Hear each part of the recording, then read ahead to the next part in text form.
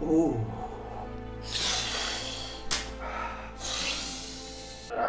I smell content. Setelah sekian lama saya berehat, akhirnya saya kembali sudah untuk mengejar siapa-siapa mangsa yang telah membuat masalah di social media. Dan hari ini saya terhidu dan ada orang balik-balik pergi DM saya di Facebook di mana orang send ada satu link yang berjudul Kak Long 7-Eleven. Saya pun hairan lah, eh link apakah ini yang mereka send? And plus, lagi-lagi saya langsung tidak update apapun yang sedang berlaku di social media sekarang. And then saya pun buat research lah.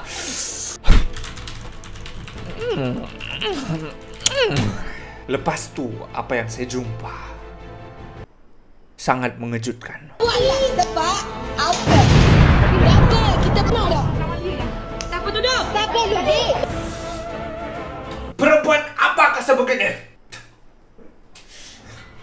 I'm sorry guys. Anyway, hey guys, it's me Alvin. Back with another video. Saya tahu lah kalau saya punya video ni gelap ke apa sebab sekarang jam menunjukkan 7.57, almost 8 malam. Ya, saya shoot malam je sebab kalau pagi saya tidak free. Tapi it's okay. Saya still akan membuat konten untuk kamu yang di luar sana, okay? Anyway, so in today's video saya akan react dengan video-video dari link yang kamu send di Facebook tuh yang kamu tag saya. Di mana ada satu perempuan nih ataupun digelar sebagai Kak Long. Uh, dia berada di 7E. Di mana dia punya anak tuh kena tuduh mencuri. Dan terus dia marah-marah lah di cashier tuh yang wah wah dia bising-bising. So, ni video saya dah tengok juga hari tu time yang dia viral. Tapi since saya baru start buat video balik kan. Jadi macam hmm. But it's okay kita akan react bersama tengok sedikit saja dan kita tengok video-video yang lain. Mana tahu ada kamu yang di luar sana tu belum tengok lagi dia punya video kan. So, without further ado kita akan tengok bersama-sama. So, jom. Eh, Musnya. Mau dana dah. Kawan dia yang kau buat ni. Oh, kawan dia yang Apa dah? Ni. Apa? Kita buat live. Kita buat live sebab apa? Sebab kita tak mau Bro, guys, look at that kid. Bukan apalah, tapi cuba kedai awak. Sekurang-kurangnya pengajaran untuk customer-customer lain mari di kedai ni supaya awak tidak tuduh. Anak saya, saya dah ajar dengan wang ringgit dek. Tapi kalau kita ada maruah dek, kita ada maruah dek, kita akan pertahankan maruah. Musnya, mu tak ada anak ah. Kamu ada anak. Mana pasal kamu kalau mak mu, mu balik. Mana? Anak aku ngomong. Share guys, share, share. Aku, aku tak tahu lah. Saya kalau kalau bagi saya lah, ini kita serius lah guys, kita heart to heart. Saya pun tak tahu macam mana mau cakap, tapi yang saya betul-betul tidak suka lah, saya betul-betul benci dengan orang yang apa-apa semua benda kan mesti mau rakam satu, dan kedua mesti mau live. Segala benda pun mau post di social media. Saya tak tahu kenapa. Saya tak tahu sometimes apa point dorang untuk buat live, mau rakam video segala semua dan terus mau post di social media dorang. Saya tak tahu apa objektif dorang untuk dapat dari netizen. And sama yang kedua, dari apa yang saya nampak dia punya anak, dia betul-betul ikut dari perangai dia punya ibu dia. Hempas-hempas barang di kedai. Kalau betul kamu tidak mencuri ataupun kamu ada mencuri pun dengan menghempasnya barang yang bukan hak milik Anda and lagi-lagi itu tempat bukan kamu punya, is still saya tak tahu lah. And yang ketiga, mana mas? Manakah mas anda? Okey. Kawan dia yang kau buat dia. Ya, lepas tu Saya cakap buat tengok cerita. Dia kata mu buka CCTV. Mu tengok dia sama, mu tuduh dia. Duk kapur. Jawab! Ya. Mu kutip balik barang-barang. Kawan dia Bukan aku buat, anak aku buat. Sebab sebab dia dia Punya- ikut aku pergi jual hari-hari. Tak ada duit, dia akan minta dengan kau. Dia tak akan curi. Siapa? Siapa? Saksi. Budak-budak pasar malang dia orang tahu. Ya, saya tahu. Saya sama baik. Saya tahu sama tengok akak. Anak akak beli Slurpee. Dia beli dengan Okey. duit. Satu. Kedua. Sabar. Betul saya kapur. Dengar saya cerita dulu. Jangan salah faham. Mu aku nak puas hati kau mau? Kak, dengar cerita saya dulu. Lepas tu kau Lagi. View aku nak naik. Mu nak soho ke aku nak soho? Tak apalah. Mu minta maaf secara depan dengan dia. Dia nangis hak dia. Kak, sabar. Dia nangis.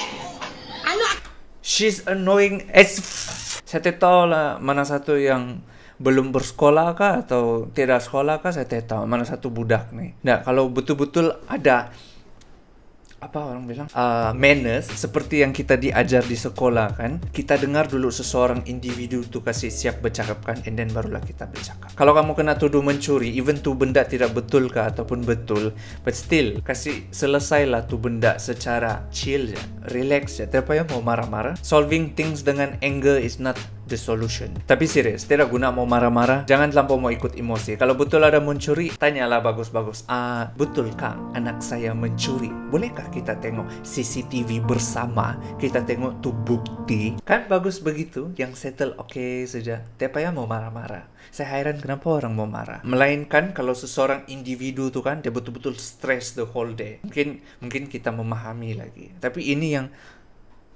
Selalu lah ni budak pun annoying Kalau ada di sini ni depan Aku nangis. Ya, saya tahu. Sebab tu saya kata, dengar cerita dulu. Pergi report pada polis. Aku sanggup duduk dalam lokak, dek. Kalau pun kita tahu aku gini, dek. Ya Allah, Kak. Dek, aku penat, dek. Aku cari rezeki, dek. Anak aku tak akan curi orang, dek. Tu saya kata, Nak ada anak dek? Saya kalau saya ada anak, kalau saya Ada anak. Ad- Apa kuasa anda kalau orang tuduh anak anda mencuri? Kalau saya kalau Mencuri. Saya dah ajar anak saya curi, Kak. Ada. Kak, saya tak perlu nak buat gini. Tapi saya nak ajar Kak supaya Kak jangan tuduh anak-anak orang lain hak mari di 7-Eleven. tapi memang orang Dengar pasal dulu. sangat, tapi kita diam je. Siapa hak bunyi ke Kak? Jangan Kak royak saya. Ya Allah, kita dalam sendiri lah. Tengok, Tapi- Okey, mu cerita hak benda mu jadi. Mu dah kata. lain bodoh ke saya. Ah bodoh. Pergi Adik. Adik. Baru balik lu Saya aku. tak tak main nak kecil, saya dah report. Balik ni tidak saya. Kerja awak. Eh, Baru berapa minit? Tiga menit. Guys, saya tak boleh oh dengar eh, tu budak annoying, mama dia pun annoying. Dia betul-betul tidak pandai mau kasih habis dulu tu cashier bercakap oh kan. Kalau boleh dia mau yang kalau macam tu tu dinding sempit sudah begini kan, sana aja dia mau masuk. Tengoklah badan. Da- saya please please jangan cancel saya please. Saya betul-betul marah. saya. Oh, habislah. Confirm lah. Terkeluarlah ni video minta maaf ni. Memandangkan baru 3 minit, kita fast forward pergi yang 30 saat terakhir lah. Ataupun 1 minit terakhir. Uh, 4.30 lah. Kak. Tapi, saya tak tahu. Saya tak tahu cerita kawan. Ha. Siapa tuduh? Siapa lu, Dek? Siapa lu? tuduh? Siapa tuduh? Siapa lu, Dek? Tidak. Aku ajar anak aku memang jelek.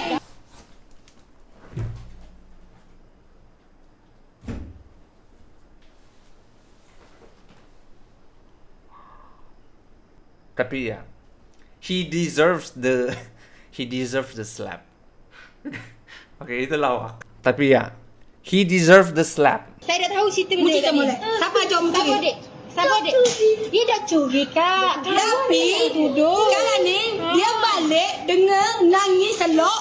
Dia kata, Mu orang puang kerja staf SBI, mu tuduh anak aku curi. Ngam juga lah tu budak kena tampar tadi Tapi at the same time Kesian juga lah Sebab sudah kurang ajar begitu di depan orang. Sebab kalau kalau kami time budak-budak kalau kurang ajar depan orang kalau memberontak begitu di kedai memang di rumah antara tali pinggang atau penyapu ke apa nah ready lah. Please lah didiklah anak kamu. Semua benda bermula kan dari rumah. Macam mana kamu besarkan kamu punya anak macam mana segala-galanya lah semua bermula dari rumah. Dan juga orang sekeliling kamu lah dengan kamu punya circle of friends yang kamu jumpa. So pilihlah kawan yang baik juga. Tapi itulah semua bermula dari ibu bapa bermula dari rumah Ku kira kau rumah. But yeah, anyway, selepas apa yang terjadi uh, yang di 7E itu, dia macam minta maaf, kalau tidak silap saya. Ataupun dia macam ada buat masalah lagi tapi di KFC. Saya pun tidak tahu apa masalah dia tapi dia buat live sekali lagi. Saya tidak tahu, saya, saya tidak faham kenapa orang mau buat live time makan. Dia bolehkah makan normal? Secara normalnya berdiri, eh duduk, makan, swap, balik bayarlah dulu tapi itulah uh, ini link yang kamu send saya di mana dia makan KFC lah dan terus dia start marah-marah Saya- tapi sebelum tu ah, di sini kita ada makanan yang manis sebab kita tengok video yang bikin panas kan so ini kemanisan membuat kita hati tenang jadi dah juga saya marah-marah kan Rugi gitu mama. Hmm. Badan dia memang KFC.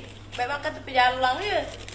Dia makan McD, McD, McD je. Eh, batu tak ada KFC, tak ada babi jadi KFC. Tahu? Ni ni badannya bodoh. Ke kan bang? Eh batu tak ada. Sudu tak ada. Orang lama apa? Serve kena, kena servis kena terbaik. TikTok. Eh, ayah Saya mari sini saya tak ada BT. Saya mari saya mari sini 30 ya je saya ada BT. Tahu. Kena kabar. Dia lah ambil order muka tu gelabek nyeng. Awak nak saya kabar benda ke? Oh, ini saya terfaham. Sorry lah. Mari ambil order muka tu gelabek nyeng dah. Point tu situ dah kena. Punya min banyak punya min banyak komplain. Yalah kalau tidak sudu kah, tidak apa-apa. Macam mana juga kan? Kalau tu kedai sudah cakap, oh sorry kami tidak sudu, sorry kami tidak. Carilah Mr. DIY kah beli sudu sana. Hairan saya. Kalau balik-balik komplain pasal itu ini, bagus dia payah makan. Bagus makan di kedai mamak saja kan. Paling senang, murah, laju. Bi- Mau bising sudah dapat KFC. Terus anak dia lagi, bagus makan McD. Kena dah. Saya ada hak sebab saya customer. Customer is always right. Saya Bullshit. tak ada batu. Sekarang. Sekarang ambil batu. Aku jam. Tak ada orang eh. Tahu. Jam. Sudu tak ada. Ai batu Eh ada. boleh kau bodoh ingat. Aku Oh, lah kau. Saya tak ada duit. Saya bukannya orang senang orang kaya. Saya ada duit 30 ya je main makan KFC eh. Saya tak faham nih keluarga anak dia lagi yang bising di belakang makan pun mau bising-bising kenapa ya perangai begini Gak cakap lah Kau panas hati aku. Mari makan KFC tak ada air batu. Keselamlah. Ramah ke duk ramah ke tu orang awak punya kerja bukan saya punya kerja. Kalau tak ada air batu tutup dah. Tahu. Bukan mari sini saya free kan saya bayar eh. Saya memang ada duit cukup-cukup je 30 ya. Aku dah beli. Oh mau. Saya tidak faham spesies keluarga sebegini Saya betul-betul tidak faham Saya makan yang Nina Brownies ni pun sampai hilang dia punya rasa manis Tapi kan dia punya komplain, punya komplain balik-balik tu kan Tapi las-las makan juga So tidak poin dia mau marah kalau las-las dia makan juga tu makanan yang dia beli Saya pun tidak faham Saya... Hai, hai, ho, alo. Tapi itulah selepas apa yang berlaku nih yang di 7E sama KFC ni, ah, terus macam biasalah netizen terus pergi hantam dia, bagi dia kecaman yang habis-habisan. Then kamu teka apa yang berlaku. Yes, that's true. Kita minta maaf. Selepas apa yang kita buat secara publicly, kita minta maaf. Uh, dia gini, sebab saya kena kecam satu Malaysia ni guys. Saya dah follow orang kakak. Kena kita satu Malaysia ya. Saya dah kenapa? Saya dah follow orang kakak. Saya kena kita satu Malaysia Tahu, tahu. Kenapa? Sebab tu jangan buat kecam gitu tak? Biasa begitulah tuh. Lepas sudah buat silap di hadapan halayak halayak ramai, nah, terus barulah mau minta maaf. Tapi kalau kamu nampak tuh video yang dia minta maaf tuh, dia datang tuh Piggy 7E balik, ada berubah juga lah tuh hati sedikit. Tengok, kesian juga lah tengok sebab dia menangis, dia merayu semua kan dengan tuh uh, cashier tuh. Oke lah juga, at least dia minta maaf lah. Itulah kalau terlampau ikut emosi, tidak mau berpikir dulu sebelum apa yang dorang buat. Terus straight straight away terus mau marah. And then selepas apa yang telah berlaku semua sudah diminta maaf semua kan. Terus teka apa lagi yang terjadi? Mana sudah tuh? ah? Dia kena jemput masuk TV. Saya tidak tahu rancangan apa. Oh, dia kena invite masuk TV Al Hijrah. Saya tidak tahu untuk apa, tapi dia kena invite masuk TV lah untuk uh, mungkin kena interview kah. Tapi saya tidak faham kenapa orang seperti sebegitu mau kena invite masuk PGTV dan untuk apa untuk dia bercakap di dalam tu rancangan tersebut. Kalau dari saya punya perspektif lah, kan since apa-apa benda yang kau buat yang macam uh, isu tu panas kah atau apa-apalah as long as it's viral. Jadi media akan ambil apa-apa sejak kesempatan untuk tarik kamu untuk masuk pergi dorang punya rancangan ataupun bawa kamu pergi mana-mana untuk talk about pasal tu isu. Sebab kenapa? Supaya dorang boleh stay relevant. Macam saya lah, saya buat reaction untuk stay relevant. Tapi itulah uh, whatever happens happens lah. Kita cuma mampu melihat saja. So apa yang dorang buat suka hati dorang lah. Tapi itulah macam ada satu video dia lagi batu viral. Macam dia ada orang cakap dia macam hina OKU tidak silap saya lah. Terus itulah macam biasalah dia minta maaf lagi dia buat live semua itu ini mana tu ah ni Kalau sebenarnya kalau bukan nak viral pun. Tapi kalau dah tahu video tu boleh orang viral. kalau minta maaf lah. Jangan marah-marah. Aduh lah. Dia mesti dia Dia mesti rasa dia dah famous. Aku dah kata, mu kata. Weh, sebelum ni aku famous dah, weh. See? Sekarang kamu nampak kan? Setelah apa yang sudah berlaku, saya tahu lah dia hina OKU kah, dia mau apakah, saya pun tidak faham. Tapi kalau memang itu benda sudah kita nampak, dan lagi-lagi dia sudah cakap pasal viral semua tu, then what else to say kan? Let it be je lah. Asalkan dia happy kan? Saya pun tak tahu apa mau cakap. Tapi saya rasa itu sajalah video untuk hari ini. So, kita jumpa di hari yang seterusnya lah, di video saya yang seterusnya.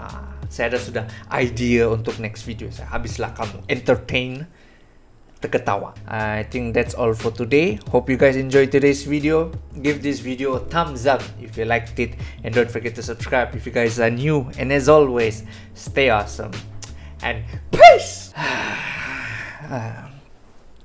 Oh, hello mo, hello